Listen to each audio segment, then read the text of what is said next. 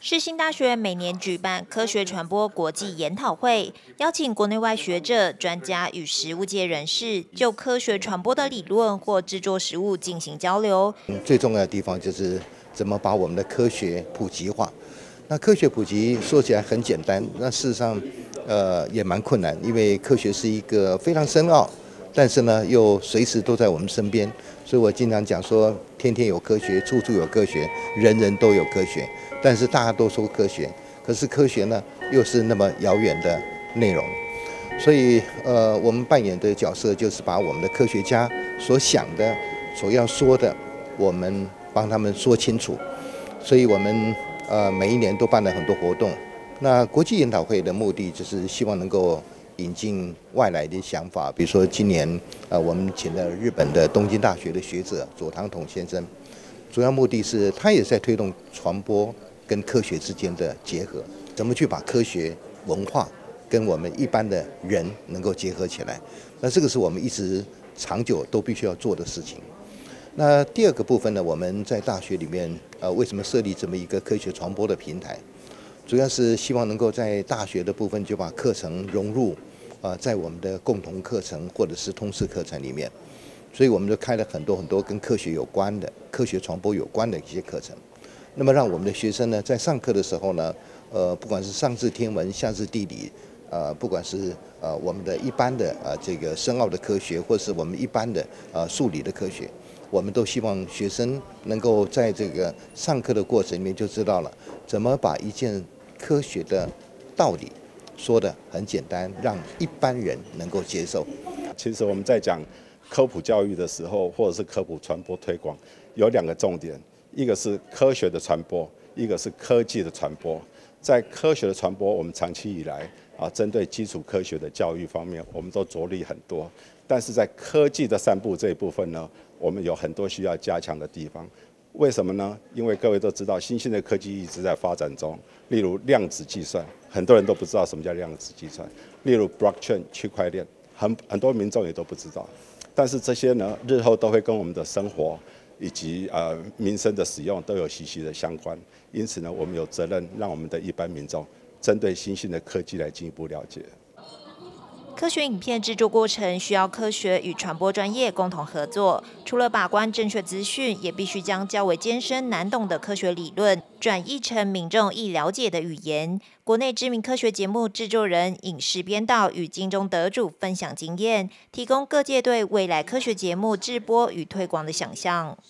从全世界开始第一次有“暖化”这个词开始的时候，我就认为作为新闻媒体是必须要告诉大家“暖化”是什么。那软化就如奥尔那时候所讲，是啊，还是有反正，有反正，这一切我们都去追寻。当时我还跟我的这个主管讲说，哎，我们作为媒体哈，你必须要忍受一个小时的收视率不好，我们一定要好好把这个观念呢告诉国人。那这样是一个尽责的新闻媒体该做的事。那我们那个主管就说，有那么差吗？我是先打预防针呐，结果隔天出来。收视率超好的耶，然后我就觉得，其实你看台湾人民，我们的观众很有水准呐。重点是有没有用心的制作，因为那一集是花了我，我花了不知道多少时间去制作所有的动画，把所有的科学用最简单的道理，用最简单的图，一层一层告诉大理是什么，所以它会耗费我很多的时间。然后你要去考量这个这个相对收视率。好，那没关系，如果有这些考量呢，我觉得最后呢，我还是会回到初衷，就是我们的媒体责任。而且呢，我才会就是讲跟长官讲，就是要媒体责任。然后呢，哎，对我们企业形象也是好的，啊不是吗？当你的这些讲，当你告诉大家，当大家看电视都长知识，是一个很好的事情嘛。那有一天，我自己的学弟，他是很有名的 YouTuber，我就不讲他的名字了。他有天来公司找我，我说怎么了？YouTube 很夯啊，好，相对传统媒体，我学长，我做不下去了。我说为什么？他说我常常拍了一整天，剪出来不到几分钟，而且我已经不知道主题要拍什么，要做什么，竞争很激烈。我说你拍一整天十个小时，哦对，剪出来多久？不到十分钟。我说你知不知道我过去以来都拍了八年，剪不到一个小时。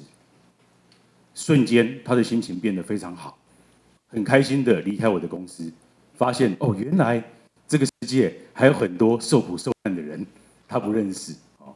所以其实一开始我在 Discovery 频道担任制作人，很多的节目哦，科普像工程纪实这些，一拍超过六年、八年。常有的事情，所以当时我们就最后成型，成为台湾第一家媒体进入到南极大陆。因为其实地球有八十亿人口，真的进入到南极大陆，南极的可能不到两万人。